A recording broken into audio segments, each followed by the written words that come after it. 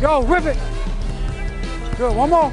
The biggest goal was him just to be, number one, a bigger threat on offense. You know, you've got four of those starters who are very good offensive players. And uh, the one guy that, you know, the team always talked about was really picking a game up on the offensive end was Luc. He was always a great uh, defensive player.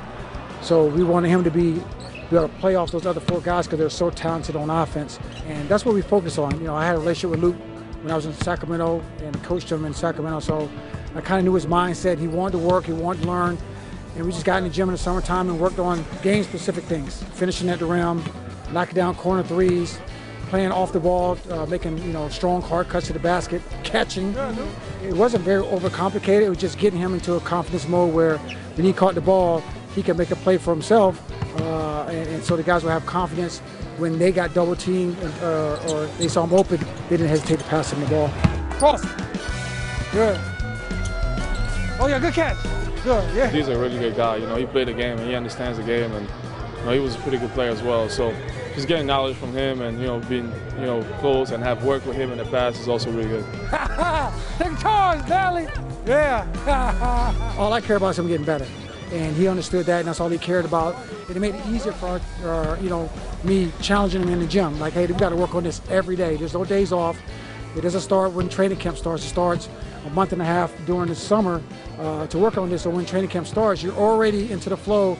Uh, when these guys get here, uh, they see how much you improved. Uh, you know, finishing around the room with your left hand, right hand, right foot, left foot, uh, just different array of moves, and having confidence when you catch the ball. And most of it that he already knew how to do. It's just, you know, finding his spots, finding locations where to get the ball, and just showing the confidence so when Chris and Blake, you know, JJ throw the ball to him, they know he can make the right play for himself or the team.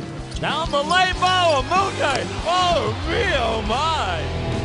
He's shown a lot of pointers. You know, he knows the game a lot. You know, from a guard who played, and you know the angles. That he just he just knows the game. So it's, it's fun working with him. He's a good guy. Yeah, he's been helping me. Go. There you go. Good. Doc would never ever take a guy for missing an open shot, you know. But he'll take out for not taking the open shot, you know, and that's one thing Lucas found out. Like you got to be a threat on the court.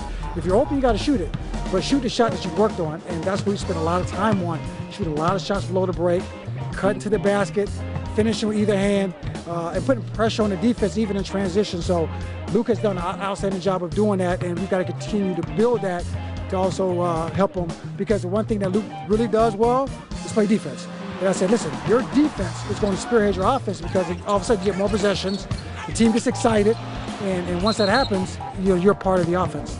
The consistency with it, you know, is staying, getting routine, you know, whether it's before and after practice, uh, getting extra shots on days off, and you know, after practice, coming back later on, and just doing it over and over. You know, it's uh, starting to you know become a little more consistent. So I got to stay with it and try to continue to get better.